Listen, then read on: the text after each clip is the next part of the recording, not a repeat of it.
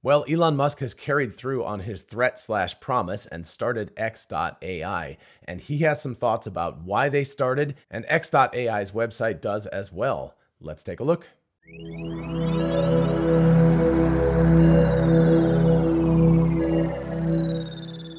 Hey y'all, it's Dr. Know It All. I'm going to look at X.AI's website and kind of go through their mission statement and what they talk about and who's working for them. But I actually want to start with about a three minute clip from a Twitter Spaces that Elon Musk did yesterday, partially on the topic of X.AI. And while we listen to it, I'll have a couple of sips from this lovely Cybertruck mug, which is available on my merch store. Link is in the description. Anyway, super, super cool really love this. I really like this one. Dan did a great job. There's like four different designs for this. This one has a handle on it, which is cool. They all fit within a standard cup holder size. So anyway, definitely check that out if you're interested. I think the hype around the Cybertruck is getting, you know, pretty big right now because it looks like the Cybertruck will be coming out very soon. Probably I'll do a video about the body in white and all of that soon, but I'm just like backed up with video ideas right now. So anyway, in the meantime, if you want a Cybertruck before you get the Cybertruck, definitely check out one of these mugs. All right, so let's start with a clip from near the beginning of the Spaces conversation where Mike Gallagher, who is one of the co-hosts, asked Elon a question about why he started X.AI. And it begins from kind of a pessimistic place. Mike's question is more of a pessimistic question. And like, you know, you're one of the AI pessimists. I think that Elon actually gives a reasoned response and doesn't sound very pessimistic when he's doing this, but he provides a very good rationale for why X.AI got started and why he and many other people are putting in a lot of time and effort to make this happen what are you doing differently than say DeepMind, Anthropic, and OpenAI, and guard and balancing the risk versus the promise of the technology? Um, sure. So yes, I, I, I, mean, I think I've been banging the drum on AI safety for a very long time, um, and uh, yes, I, I, I think if if I if I could put press pause on um, AI or really really advanced AI sort of super, digital superintelligence, um, I would.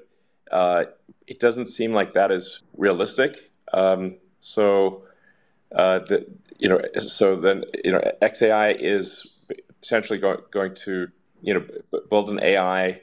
You're like you, you kind of grow grow an AI uh, in in a in a good way, ho- sort of hopefully. Um, um, the you know the, the, the premise of AI is to sort of have the the AI be sort of maximally curious, um, maximally truth seeking, um, and this may like we may get a little esoteric here, but I think that uh, from from an AI safety standpoint, I think a, a maximally curious AI one one is that it, is trying to sort of understand the universe uh, is I think going to be pro uh, humanity um, from the standpoint that uh, humanity is just much more interesting than not humanity. So, uh, if, if you said, like, I'm obviously a big fan of Mars, um, and and that, that we should become a spacefaring civilization and a sort of a multi-planet species.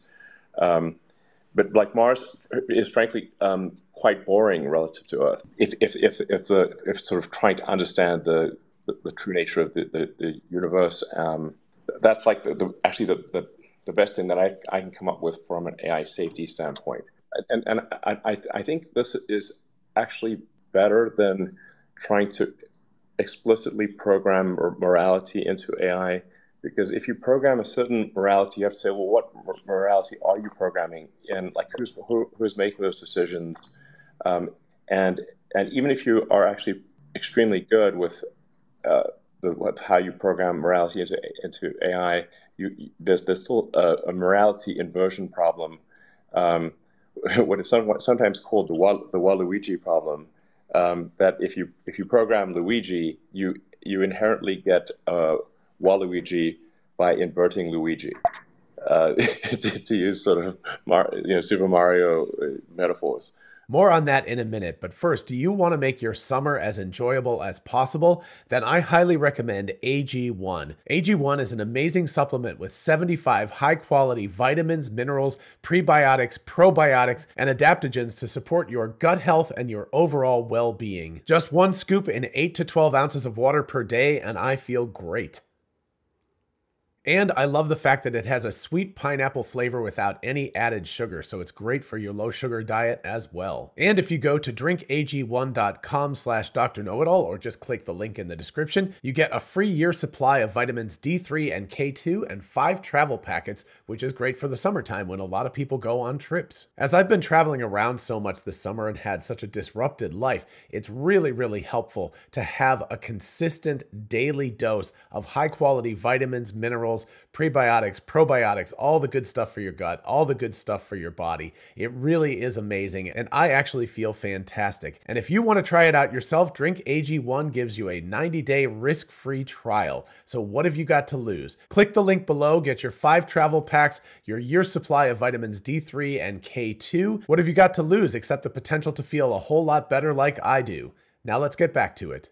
All right, first, I love that Elon is using Super Mario as a, an analogy, a way of getting insight into the AI alignment problem. He doesn't really say alignment, but he is talking about alignment. And what he's talking about here is that we, you know, to much fanfare, OpenAI and Google and DeepMind specifically, there are other companies too, like Anthropic and everything. But anyway, they talk a great deal about how they spend a lot of time and effort on alignment.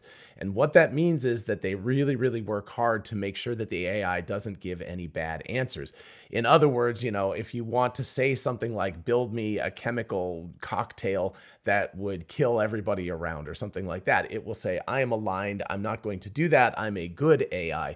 The problem is that as you create that, you always create the flip side of that coin. In other words, and people have done this with uh, ChatGPT specifically, I've, I've heard about this. I haven't done this myself because I'm not particularly interested in it, but they will say, you know, pretend you are an evil thing. Now you're the opposite of what you are. Give me the opposite alignment and tell me how to build this cocktail or a virus or whatever. And it will be happy to do that if you can convince it to be the Waluigi to the Luigi. So that is really, really interesting. So what Elon is talking about here, the reason he created XAI is to create a something, to create an AI, a large language model, whatever this thing ends up being, that is not trained in that fashion. It's not fine tuned in that fashion at the very least. And the idea is that it will be maximally truth seeking, maximally curious. It will be trying to figure out the answers, the fundamental answers to the universe.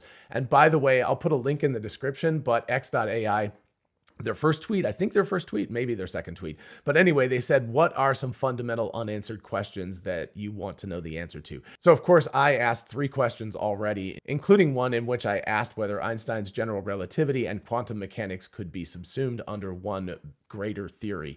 I think that's a really fundamental one. Another one is what is time and why is it directional and is it emergent property or is it a fundamental property of the universe? Anyway, so I, I ask questions like that, and a, a lot of other people have asked questions as well.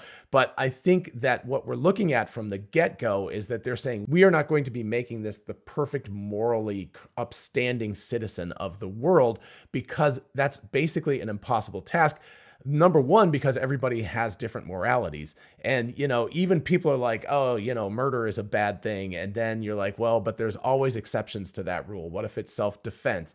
What if it's in a military situation? What are you know what if you're defending your country or something? There's there are always exceptions to even the most basic rules the ones that seem super obvious. So morality is a very very difficult problem. And even if magically you're able to figure out how to create something that everyone agrees is morally upstanding and correct. As Elon said, you've got the Waluigi problem of the flip side of that, the dark side of that exists. You have to create that dark side in order to create the other side of this. So the solution to this is to essentially cut the Gordian knot and not train it that way, but to train it instead to be as curious as possible, to be seeking out the truth, to be looking for answers. And Elon says, you know, it's it's it's a hope, it's a belief. He hopes that this AI, this thing that he says later in the conversation, should be around within five or six years. I believe that's his exact quote. He says five to six years for AGI, for something that is super intelligent, is smarter than any person at every potential task. But anyway, given that sort of entity, which could exist in half a decade by 2030, something along those lines what he wants is for this thing to find humans to be more interesting than not humans. That is a really interesting tag on this whole thing. So basically, he says, you know, he's like, Mars is kind of a dead planet. It's not very interesting. Earth is way more interesting because it has life on it, and in particular, it has humans and that this AI, because it's curious and it wants interesting things to happen, Elon also talks about the most entertaining outcome is the most likely to happen. So maybe this AI will become an observer of humanity and will enjoy the, the reality show that we are all putting on constantly. So that's his hope. That's an interesting hope. That's an interesting thing to pin your your your hopes for the future on because he could be wrong. You know, that that could be an incorrect belief and the super intelligent AGI will not go that direction. But it does seem like a reasonable option and something that would be rational for somebody to go with. That's his theory. That's what he's sticking with. And I, I think that's a reasonable way to go with that. All right, so now let's take a look at X.AI's website. There's not a ton of it on there yet, but I think it's it's really good to look at what they are saying about themselves as well. So announcing X.AI July 12th, which is yesterday as I record this. The goal of XAI is to understand the true nature of the universe. And by the way, you can meet the team and ask us questions during a Twitter Spaces chat on Friday, July 14th, which is tomorrow. I don't know exactly when I'll release this. I might release it on the 13th or the 14th. Anyway, hopefully it will be soon enough that you will catch this live. If not, I'm sure there will be a recording of it as well. Then we get to the team. Our team is led by Elon Musk, CEO of Tesla and SpaceX. That's not surprising at all.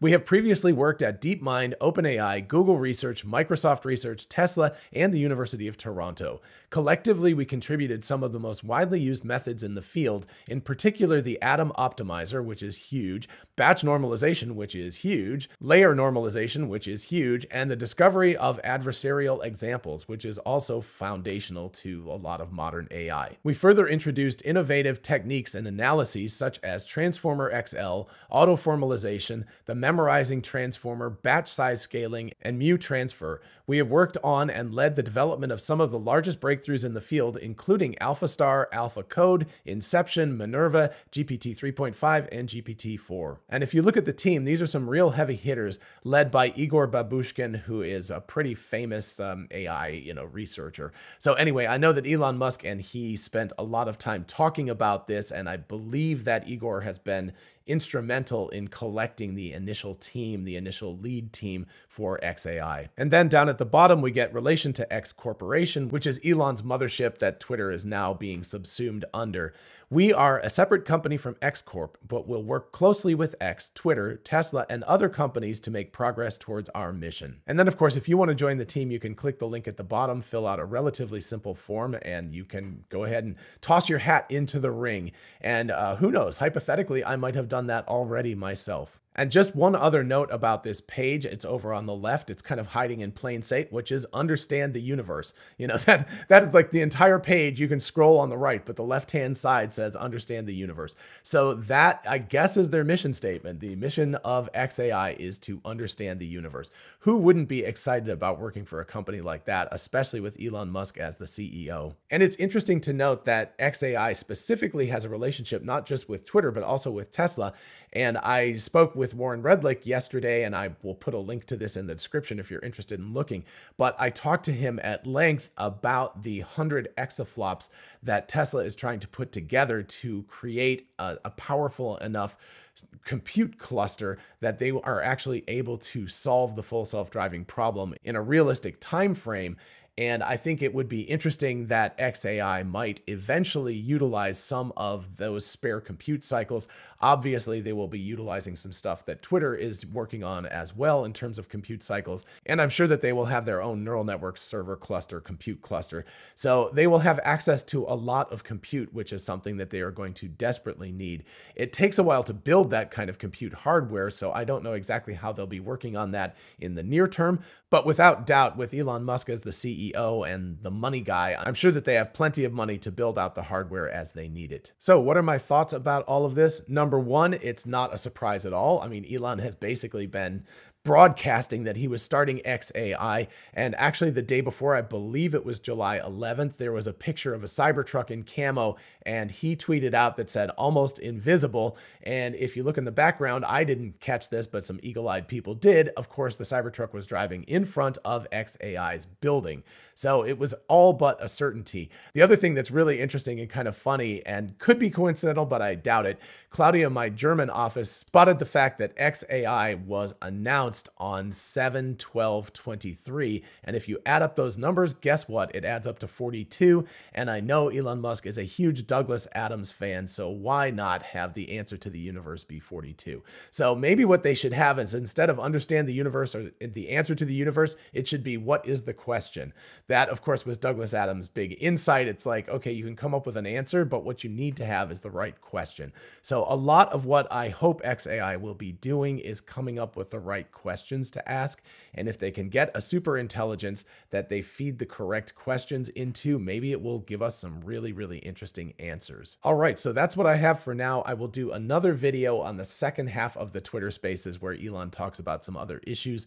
Probably tomorrow, we will see. But anyway, in the meantime, if you enjoyed this video, please do like it because YouTube's AI algorithm depends on that to know whether to serve it to other people. And of course, consider subscribing for more of this kind of content. It's very, very important. The subscriptions actually do matter a ton. So I thank you very much for going ahead and taking the moment to click the bell icon and all of that kind of stuff. As always, a huge shout out to my Patreon patrons, my YouTube channel members, and of course, my Twitter subscribers. Thank you all so much for supporting the channel in any way that you can. I really do appreciate it. And of course, if you want to join any of the teams, just check out the links in the description. And if you're interested in a whole bunch of really cool merch, check out our merch store. Link is in the description. We have TeslaBot t-shirts, the Tesla meme t-shirt, success is a possible outcome, 4680 battery cells. All of that stuff is on t-shirts, mugs, tumblers, and on and on. So check it out. And finally, a big thanks once again to AG1 for sponsoring this video. If you want to start feeling better tomorrow, check out the link in the description. In the meantime, I'll see you in the next one. Bye-bye.